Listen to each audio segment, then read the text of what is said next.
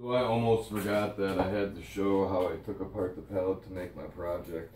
Um, this is obviously not the pallet that I used for my project because like I said, I almost forgot. Uh, sometimes I use a circ saw.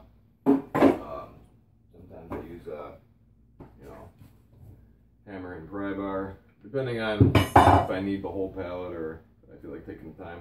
For this particular project, I only need the pieces to be like 18 inches long, give or take. So I'm gonna use a jigsaw because uh, this is only half a pallet. I tried using my cordless circ and I kept getting stuck. So hopefully this one won't get stuck.